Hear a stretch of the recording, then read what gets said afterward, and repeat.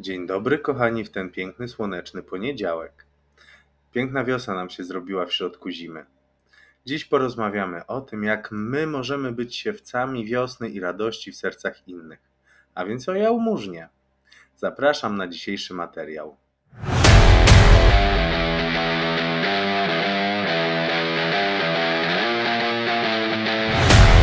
Żyjemy w czasach, w których około 35% ludzkości żyje we względnym dobrobycie, w tym 10% w luksusie. Natomiast przeszło połowa żyje za mniej niż 2 dolary dziennie, czyli około 240 zł miesięcznie. Cierpią oni niedostatek chleba, wody pitnej, podstawowych lekarstw, urządzeń sanitarnych czy energii elektrycznej. Papież Franciszek w adhortacji Ewangelii Gaudium zwraca uwagę, że stajemy się niezdolni do współczucia i nie interesuje nas los ubogich, tak jakby troska o nich nie była naszym problemem. Nazywa to globalizacją obojętności.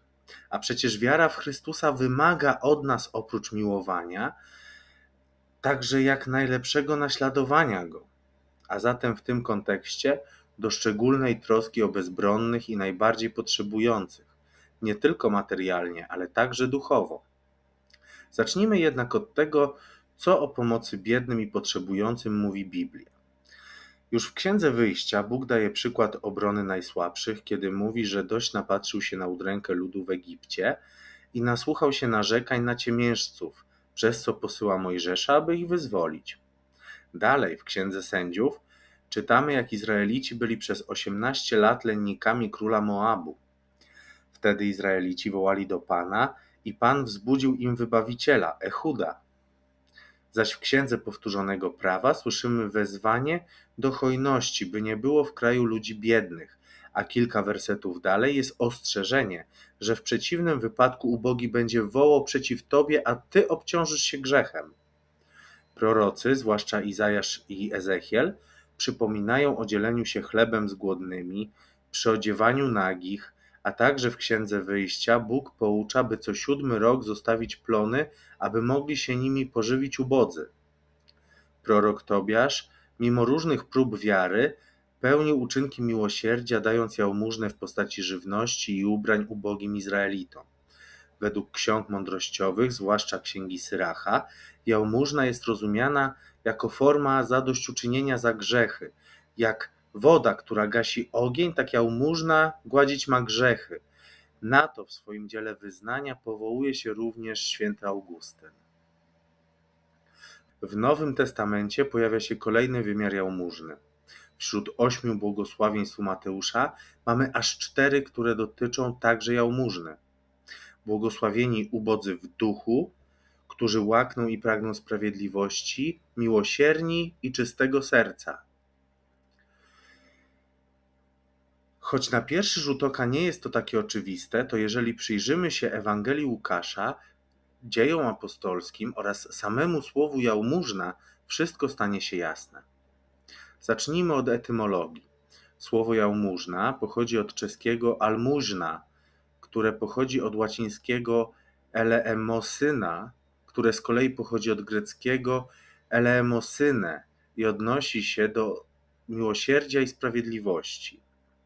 Jałmużna w rozumieniu greckim, czyli tym użytym w Nowym Testamencie, ma więc być dążeniem, czy wręcz spełnianiem miłosierdzia i sprawiedliwości. Łukasz Ewangelista zwraca z kolei uwagę na bezinteresowność i czystość intencji. Jezus w tej Ewangelii mówi: Raczej dajcie to, co jest wewnątrz na jałmużnę, a zaraz wszystko będzie dla was czyste. W dziejach apostolskich opowiada historię Piotra, który proszącego apostołów o jałmużnę chromego uzdrawia ze słowami: Nie mam srebra ani złota, ale co mam, to ci daję.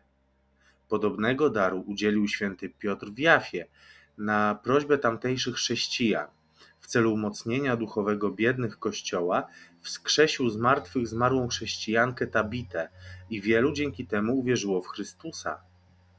Także święty Paweł poucza Kościół w Koryncie, że nie o to chodzi, żeby im sprawiać ulgę, a sobie utrapienie, w sensie tym biednym, lecz żeby była równość według zasady nie miał za wiele ten, kto miał dużo, nie miał za mało ten, kto miał niewiele. Mówi to w kontekście dotkliwej próby, która spotkała kościoły w Macedonii, powodując, że ich skrajne ubóstwo stało się bogactwem prostoty.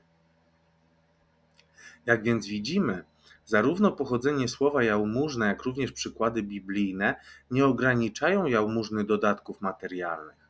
Ba, nie ograniczają ich nawet do trzech pierwszych uczynków miłosierdzia wobec ciała, czyli głodnych nakarmić, spragnionych napoić, nagich przyodziać. Jałmużna więc może zostać zdefiniowana w sposób najbardziej ogólny jako każda czynność mająca na celu urzeczywistnienie miłosierdzia i sprawiedliwości. Od początku chrześcijaństwa jałmużna była kojarzona jednak głównie z dzieleniem się różnymi dobrami, pokarmami, ubraniami czy pieniędzmi. I tak jest do dzisiaj, choć tak naprawdę, jeżeli na przykład prawnik pomaga komuś w trudnej sytuacji, nie dając mu nic fizycznie, ale poświęcając swój czas i wiedzę, pomaga naprostować sytuację prawną, na przykład wyjść z długów, tak pro bono, może być to forma jałmużny. Także pomoc w sensie wsparcia psychicznego osoby w dołku czy w jakimś kryzysie, towarzyszenie jej i pocieszenie mogą być formą jałmużny. A nawet pomoc w nawróceniu może być formą jałmużny. Tak naprawdę, jak dowiadujemy się z Pisma Świętego, jedynym warunkiem, żeby takie działanie było jałmużną, jest bezinteresowność i czystość intencji. Działanie nie dla swojej chwały, tylko ad majorem dei gloriam, dla większej chwały Bożej. Święty Ignacy dodaje jeszcze, że jałmużna powinna wynikać z miłości Bożej, to znaczy powinna jakby spływać z góry, to znaczy Bóg, który kocha mnie, kocha też mojego bliźniego i z tego powodu kocham go również ja i mu pomagam. Nie ze względu na to, że to mój przyjaciel czy osoba w jakiś sposób bliska, co oczywiście nie wyklucza możliwości dawania jałmużny przyjaciołom czy bliskim, ale nie z tego powodu, że są bliscy, tylko ze względu na miłość Boga, z której wynika miłość bliźniego.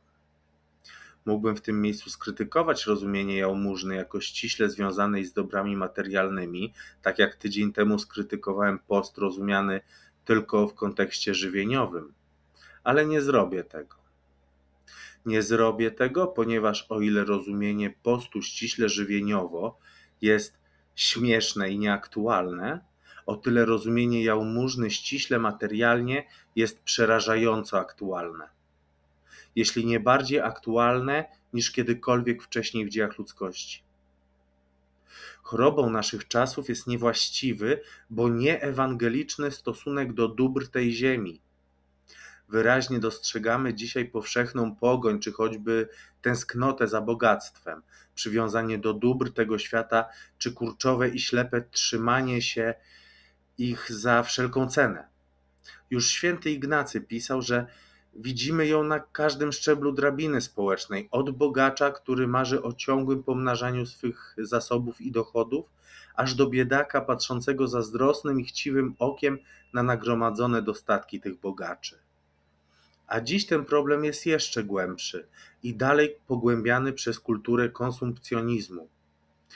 Przywołanej przeze mnie na początku tego odcinka adhortacji papieża Franciszka Ewangelii Gaudium Zwraca on uwagę, że lęk i rozpacz opanowują serca wielu osób, nawet w tak zwanych krajach bogatych. Często gaśnie radość życia, wzrasta brak szacunku i przemoc. Nierówność społeczna staje się coraz bardziej oczywista. Trzeba walczyć, żeby żyć, i to często żyć bez dostatecznego poszanowania swej godności. W warunkach takiej walki często za dochody zupełnie niewspółmierne do osiąganych przez najbogatszych zysków z tego tytułu, mieć oznacza być. Liczą się więc wyniki, liczby, tabelki. Każdy chyba zna tą korpo rzeczywistość. W tych warunkach nie ma czasu na refleksję, nie ma czasu na duchowość, nie ma czasu na współczucie bliźnim. Zwłaszcza dziś, kiedy trwa nieprzerwany wyścig szczurów, bliźni staje się rywalem, konkurentem. Zatem pomoc bliźniemu jest frajerstwem, bo jeszcze nie daj Boże będzie miał lepiej ode mnie. Są co prawda różne akcje charytatywne, różne zbiórki internetowe czy do puszek, i pamiętając, że jako chrześcijanie jesteśmy wezwani do dbania o swoich ubogich przez samego Chrystusa, to raz w roku wrzucimy jakiś banknot do tej puszki, czy wpłacimy jakąś kwotę na internetowej zbiórce, nawet lepiej, bo później jest potwierdzenie i można sobie od podatku odliczyć.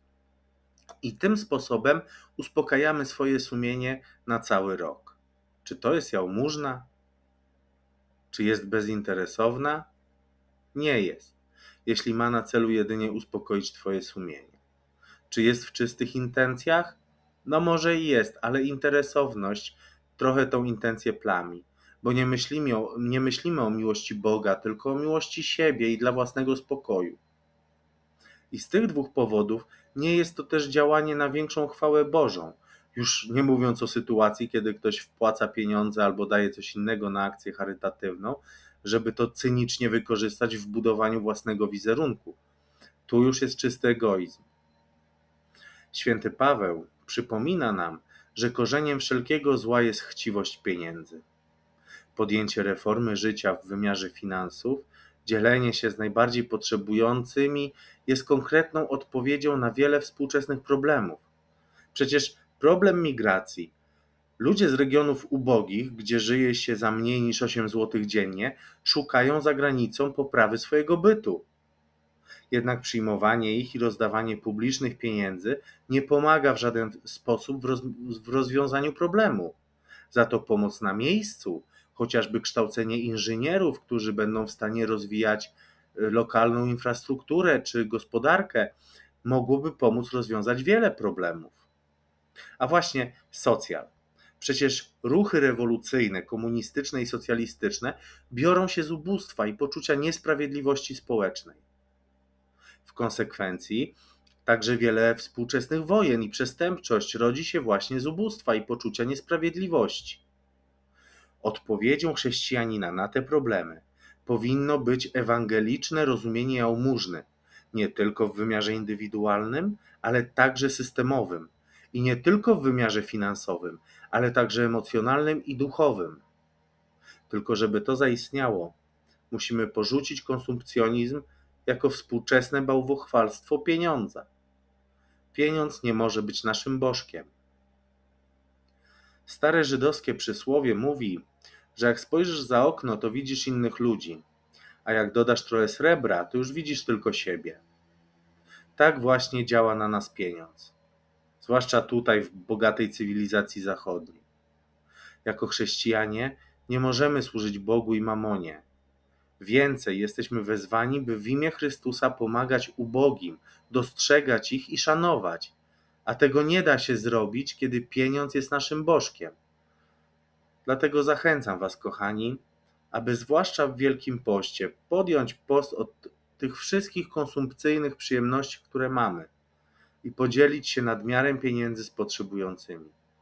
Niech to będzie taka próba wiary, wewnętrzny akt, tak jak mówiłem we wczorajszym odcinku. Dziękuję, że byliście ze mną w kolejnym materiale na moim kanale. Koniecznie zostawcie swoją opinię w komentarzu i do zobaczenia w kolejnym wideo.